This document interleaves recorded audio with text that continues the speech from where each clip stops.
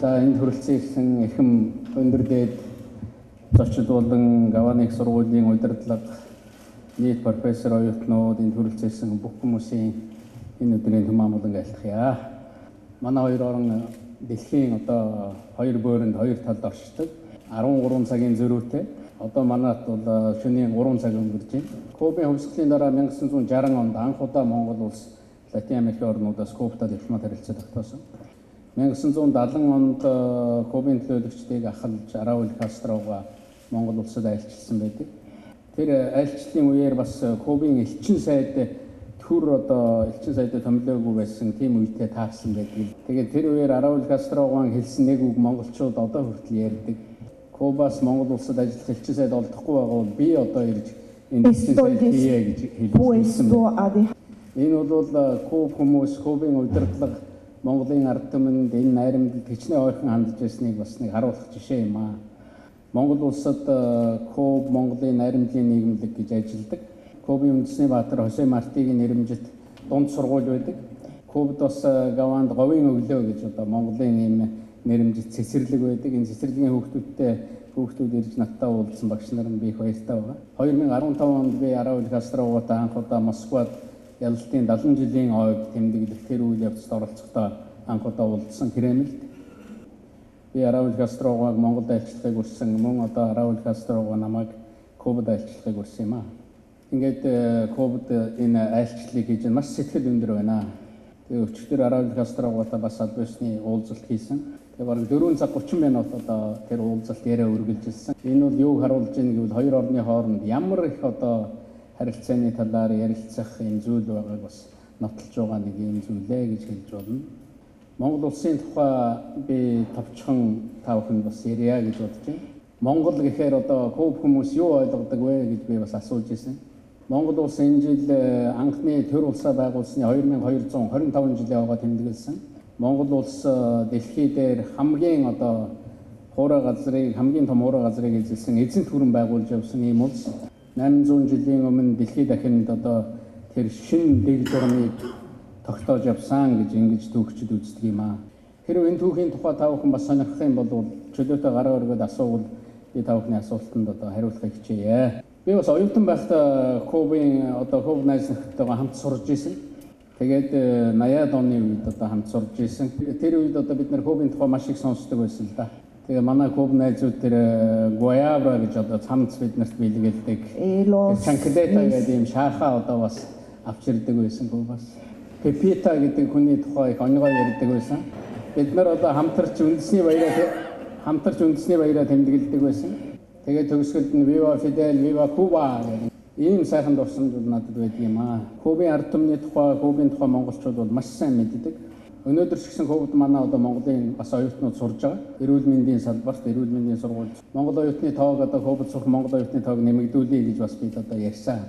Мөн хөвбас Монгол сурах оюутнуудыг одоо бид хүлээж авахар ярьж байгаа. Манай хоёр их сургууль хоорондоо санамж бичиг байгуулсан. Би түрүү Монголын их гүрний түүхийг товчхон бас хэлсэн. Тэр их гүрэн задрах, доройтох тэр үйл явцууд бас хэдэн зуун жил үргэлжилсэн юм аа. Тэгээд явсаар бол 20 дугаар зууны ихэр монголчууд эрхчлөө тусгаар тогтнолоо дахин сэргийн тогтоосон. Монгол улс 1920-ад онд дэлхийн хоёр дахь одоо социалист улс болсон байгаа. Зөвлөлт улсын дараа. Социализмын одоо замаар үед бол 70 жил Монгол улс хөгжсөн юм аа. Тэгээ 1980-ад оны сүүл 90-ад оны ихээр Монгол бас нэлээд томоохон өөрчлөлтүүд болсон. Зөвлөлт улсад перестройка, гласность гэдэг хэлснийг та бүхэн мэдж байгаа. Тэр үйл явцууд Монголд улам одоо илүү явсан гэдгийг хэлье. Юу болсон тухай ярих юм бол би зүгээр чиглэл чиглэлээр нийгмийн салбараар товчхон жишээ авч ярья гэх. Эдийн засгийн салбар 90-ад оны үед бол Монголын эдийн засаг маш хүнд байдалд орсон. Та бүхэн мэдэх байх Монгол орн бол маш их одоо баян юм бас хөдөө аж ахуйн орн. Монголын үед бас товчхон 3 тоо хэлье. 3 сая гаруй хүнтэй 1.5 сая хавтгад дөрвөлжин км газар нутагт 1 квадрат километрт 2 хүн ногддог. Үгээрээ бол одоо дэлхийд нэгдүгээр байр эзэлдэг. 60 гаруй сая малтай. Тэгээд 90-ад оны ихээр бид нар бол э, хөгжлийг нэлээд эрчимтэй өрнүүлсэн. Би өөрөө малчин айл төрсөн өссөн юм хүн ба. Би дээрээ 7 ахтай. Би айлын баг хөхт байгаа. Охинтой болохыг их мөрөөддөг байсан гэж ярьдаг байсан манай аач. Тэ яг манай ах нар одоо гэр бүл болоод э, эмэгтэй одоо охтууд дагуулж ирсэн л дээ. За ингээд малын хөгжлөд явсан бүгд одоо өмч хөрөнгө авсан. Бас э, тэр үед хүндрэлтэй байсан учраас гадагшаа явъя гэсэн бүхэл хүнд одоо бид нар насны хүрсэн бүх хүнд одоо гадаад паспорт олгосон чөлөөтэй одоо явахыг зөвшөөрсөн. Хоёр жилийн дотор бүх дэлгүүрийн дангуу эргээд одоо дүүрсэн үйлчлэгээ бараа одоо бүх юм сэргсэн. Мөн бид нар үйлчлэгээний салбарыг хөгжилсөн одоо Гуанз ресторан энэ үйлчлэгээний бүх салбарт одоо төрийн өмчийн нэг ч одоо ийм Гуанз ресторан гэдэг ойлголт байхгүй бүгд хөгжилсэн. Бүх айлуудад бас амьдарчсэн байшинг нь хөгжиж өгсөн байрыг. Хүн бүхэн аж ахуй нэгж байгуулах, компани байгуулах тэр эрхийг бүгдийг хуулиар нээж өгсөн. Ер нь манай эдийн засгийн 98% нь одоо социалист өмч байсан. Одоо бол 80% нь хувийн өмч болсон байна. Эдийн засгийн хувьд бол ийм өөрчлөлтийг бас бид хийсэн. Нийгмийн хувьд бол бас манай нийгэм их өөрчлөгдсөн. Тэр үед Монгол 5 сонин гардаг байсан. Би өөрөө сэтгүүлч мэрэгжилтэй. Би Монголын анхны чөлөөт сонин бас эрхэлж гаргаж байсан. Нэг бүр 500 гаруй сонин одоо нэг гардаг болсон ба. Улсын нэг радио телевизтэй байсан. Одоо бол Монгол улсын радио телевиз гэдэг ойлголт байхгүй. Улаанбаатарт 80 гаруй одоо үндэсний сувг, 80 гаруй одоо Монгол телевизийн одоо сувг байгаа. А хэвлэл мэдээлэл, Twitter, Facebook гэдэг одоо бүгд чөлөөтэй. Би өөрөө бол одоо Twitter, Facebook ашигладаг. Иймэрхүү байдлаар ер нь хүмүүс бол чөлөөтэй тэр хүмүүс бол одоо нийгэм удирдлагаа бол үргэлж шүүмжилж идэг. Би бол одоо Монгол хамгийн их шүүмжил сонсдог хүний нэг байгаа. Энэ бол одоо намайг өглөө өхөн одоо орноос татаж босгож идэг тэр одоо шүүмжил бол улам илүү сайн юм хийхийг л одоо шаардж идэг. Ерөнхийлөгч болоод орж ирээд өөрийнхөө албан өрөөг одоо иргэдийн иргэний танхим гэж одоо нэрлэж иргэний танхим болгож өөрчилсөн төрийн ордон. Монголд гарах гэж байгаа одоо хууль дүрм тогтоомжийг заавал тэр иргэний танхимаар иргэдээр эхэлж хэлэлцүүлээд дараа нь одоо шийдвэр гаргадаг болсон. Бүх орон нутагт тийм болсон. Миний бас нэг саяхан гаргасан санаачлага байгаа нэг хууль оруулж батлуулсан тэр шилэн дансны хууль гэж. Тэр нь одоо нэг төгрөг зарсан ч байсан төрийн албан тушаалтан байгууллага одоо хинч байсан зархад одоо тэр бол ингээд шилэн дотор харагдаж байгаа юм шиг тэр зарлага урлага бүгд харагдаж явах хэвээр ард түмэн шууд хянаж явах хэвээр. Ер нь манай Монголд бол нэг улс төрчдийн яриа бол нэг тийм сонирн биш. Харин улс төрчид ард түмний мөнгийг хэрхэн зарцуулж гин гэдэгт бол иргэд бол маш их анхаарал тавьдаг. Бид нар үргэлжил өөрчлөлт хийж урагшлах гэж оролдож байгаа л доо. Манай нийслэлээс эхлээд төрийн үйлчлэгийг одоо бид нар бүр зах руу гаргасан. Улаанбаатар хотод очих юм бол одоо үйлчлэгээний их том төвд одоо нэг хэсэгт нь ингээд төрийн одоо байгууллага тэр одоо талбайг нь түрээслээд авцсан байна. Тэгээ төрийн үйлчлэгээ, төрийн тамга, даргын гарын үсэг гэдэг бол асар их хүнд суртал байдаг учраас бид нар тийм байдлаар иргэдэд ойртуулсан. Тэр үйлчлэгээний төвд яваад очиход гурван өнгийн юм цаас байгаа маягт. Иргэдэд одоо төрийн үйлчлэгээ дандаа л хэрэг болж байдаг. Одоо төрсний гэрчлэгээ аван, сургууль өгсний гэрчлэгээ, ногоон өнгийн маягт авах юм бол тэр ногоон өнгийн маягтан дээр байгаа үйлчлэгийг та тэр дор авдаг. 5 сар хөөцөлдөө тэр үйлчлэгийг авч чадахгүйсэн хүн 5 минутын дотор түүнийг авчаад баярлаж ang байсан. Шар өнгийн маягт авах юм бол 24 цагийн дотор асуудлыг шийдэж. Улаан өнгийн маягт авах юм бол за нэг 7 хоногийн дотор шийдэгдэх асуудал байд. Гэхдээ манай тэр иргэн бол хэн гэдэг дарга дээр миний асуудал удаж гин гэдгийг шууд компьютероор ороод интернетээр хараа сууж идэг. Монгол улс намайг э, ерөнхийлөгч болоход авилгалын олон улсын үнэлгээ байдаг. Одоо улс орон хэдэд явж байгаа гэдэг 120 дээр явж байсан. Би хоёр удаа ерөнхий сайдаар ажиллаж байсан. Хоёр удаа бас авилгалтаа тэмцээд ерөнхий сайдаас одоо хүчээр одоо парламент дээр одоо огцорж исэн хүн. Одоо та бүхэн интернет рүү ороод харах юм бол Монгол улс 72 дугаар баяранд явж байгаа. Нилээн урагшилсан, нилээн сайжирсан. Шүүх цагдаа, шүүх цагдаа прокурор гэдэг маш том өөрчлөлтүүдийг бас бид нар хийсэн. Энэ тухай ярих юм бол маш олон одоо хугацаа орно. Ер нь төрийн хүнд сурталтаа бол би байн тэмцэж явах ёстой гэж би өөрөө боддог. Ээж хүн өглөө босоод хүүхдээ хуурайлдаг шиг л одоо тэгжэл тэр төрийн муу муухайтай өглөө өхөн босоод тэмцэх ёстой гэж би Монгол улсад нэг жишээ хэлэхэд шүүхийн шийдвэр 72 цагийн дотор интернет дээр юм уу заавар хэв- хэвлэгдсэн байх ёстой. Дандаа ил байх ёстой. Хуультай. Тэгээд улс төрийн хувьд бол бас нэгэн өөрчлөлт хий- хийгдсэн. Монгол улсад нэг улс төрийн намтай байсан одоо одоо бүртгэлтэй 20-од нам байдаг. Тэгээ Монголд 90 оноос хойш нэг парламентын сонгуул 8 удаа болсон. Саяхан одоо манад сонгуул болсон. Ерөнхийлөгчийн сонгуул 6 удаа болсон. 90 онд одоо бид нар ярьж байгаа намын байгууллагыг ер нь үйлдвэр аж ахуйн нэгжлэр биш нутаг дэвсгэрийн зарчмаар байгуулах хууль гаргаж ирсэн. Бас л хэцүү байсан гэх. Одоо харж байхад бол зөв шийдвэр байсан байна. Миний баримтлагдаг зарчим бол төр хүний амьдралд аж ахуйн одоо амьдралд ер нь оролцож болохгүй гэдэг ийм зарчмыг бол барихыг хичээдэг. Хүнээс татврыг авах хэрэгтэй, аж ахуйнаас татврыг авах хэрэгтэй гэж боддог. Мэдээж ахмадууд, хүүхдүүд гэдэг одоо төрөөс заавал харж үзэх шаардлагатай хүмүүс байгаа. Нийгмийн зарим өөрчлөлтийг ингээ хүнээр авч ярих юм бол бас их ойлгомжтой болдог. Монголчууд олон хүүхэдтэй болохыг бид одоо дэмжсэн бодлого явуулдаг. Социализмын үед ч тийм байсан одоо ч тэгж явуулж. 5 хүүхэд төрүүлэх юм бол 2 дугаар зэргийн одон гэдэг эхийн алдар гэдэг одон. 8 хүүхэд төрүүлвэл 1 дугаар зэргийн одон. Орчин үед манай хүүхнүүд бас шаардлага тавиад энэ бол энд хатуу байна. Энэ одоо шаардлагыг жаахан багасгаж өгөөч, зөөлрүүлж өгөөч гэж хүсэл тавьж байсан. Одоо бол 4 хүүхэдтэй бол 1 2 дугаар зэргийн одон, 6 хүүхэдтэй бол 1 дугаар зэргийн одон. Гэхдээ тэр одон бол мөнгө дагалддаг хүүхдийн мөнгө гээд 18 нас хүртэл хэдэн ч хүүхэд байсан хамаагүй одоо сар бүхэн бид нар бас одоо мөнгө олгодог. Одоо харин өндөр орлоготой айлуудыг тэр мөнгнөөс нь бол одоо татгалзуулж байгаа. Одоо олгохоо болж байгаа. Монголд хүүхдийн цэцэрлэгийн асуудал бол маш их хүнд байдаг. Бид нар энийг арай өөрөөр шийдэж байгаа. Хүүхд тарах үйлчилгээ гэж бий болгосон. Одоо Монголд нэг айлын ээж ажилгүй байгаа 5 хүүхэд харж байгаа бол улсаас тэр 5 хүүхдэд ноогдох мөнгийг одоо тэр ээжд нь өгөөд Тэгээд ийм гэрээр одоо хувийн байгууллага дээр албан байгууллага дээр ийм цэцэрлэг байгуулах эрх олгож байгаа. Үүгээр бид нар ийм цэцэрлэгийн асуудлыг бараг шийдчих байхаа гэж бодож байна. Хувийн цэцэрлэгүүд бас их бий болж байна Монгол. За тэгээд цаашаа таны хүүхэд сургуульд орлоо бас хувийн сургуулийг бид нар зөвшөөрч өгсөн. Улсын сургуулийн тогтолцоо бас хэвээрээ байгаа, хадгалж байгаа. Ер нь бол зарим нэг хувийн цэцэрлэгүүд бол асар хүнтэй одоо 15 мянган доллар, 20 мянган доллар жилдээ төлдөг цэцэрлэг байна.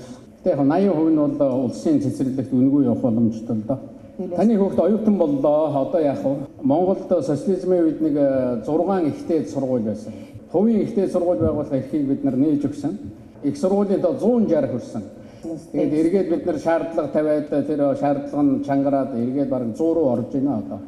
Улсын ихтэй сургуулийнхаа тэр одоо байсан 5 6 сургуулиа бас тэр хуваар нь хадгалж байгаа. Тэр элсэлт бол явдаг.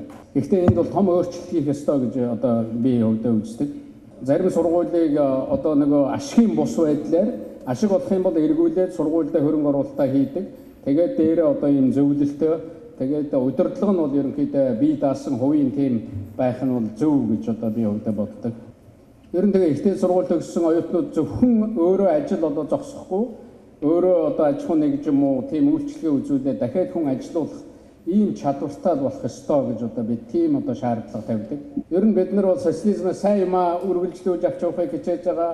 Мөн одоо чөлөөт ийм нээлттэй нийгэмд байгаа сайн юм байвал бас авчрахыг хичээж байна. Гэхдээ бид нар бол байн онохгүй байгаа. Маш их алдаа хийж байгаа.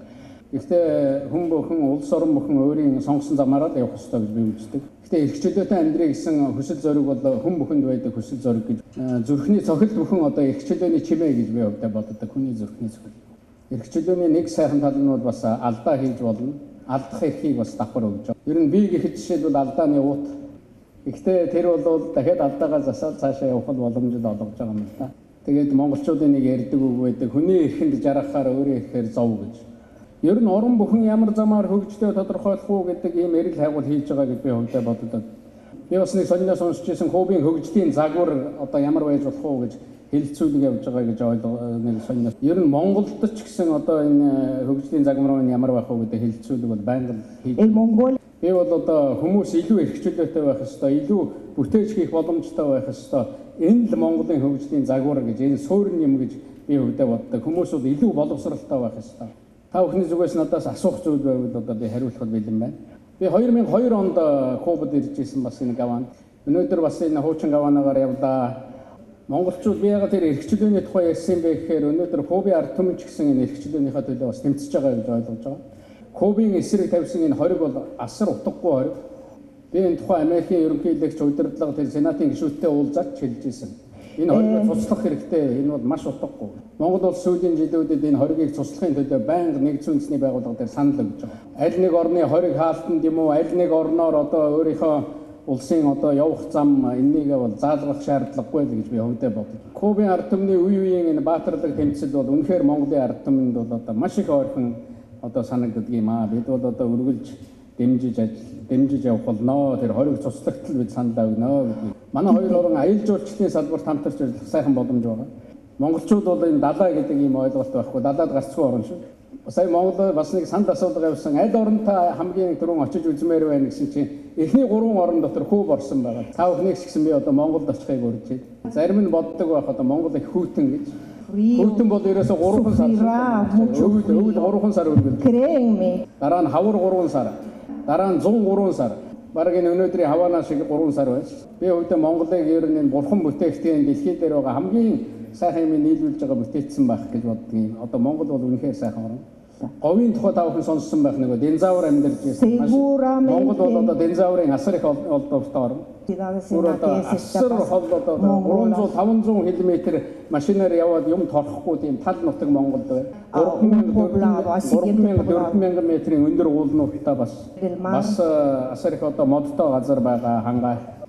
Ингээ та бүхэн Монголд үнэхээр ирвэл одоо би их баярлнаа. Хавааны их сургуультай бид нар цаашаа хамтарч ажиллана гэж найдаж байна. Би бас Labio Pharma гэдэг энэ газар очиж үзлээ. Маш их одоо Монголтой харилцах боломжтой газар байна. Куб бол спортын асар их гайхамшигтай одоо ийм амжилттай орн гэж. Бид нар нэг үе Кубаас дасгалжуулагч авч, боксing дасгалжуулагч авч одоо тамирчтай дасгалжуулж байна. Олимпийн анхны алтан медалийг боксоор бас авч ирсэн байна. Зарим дэлхийн аварга Олимпийн одоо тэр тэмцээн дээр манай зарим тамирч бас Кубын тамирчдыг ялж ийн л одоо тэгээд уучлаарай одоо тэр бол бас нөгөө багш нарынхаа одоо ачийг л хариулж байгаа хэлбэр юм даа л гэж бид. También За ингээд э, бид нар бас э, Кубыг их э, жил энэ жил Куб нүүбийн хүний эрхийн зөвлөлд одоо дэвшиж байгаа. Бид нар бас дэмжихээр шийдвэр гаргасан байгаа. Энэ бол одоо сайхан мэдээ болох байхаа гэж бодож байна. Viva la amistad entre Mongolia y Cuba.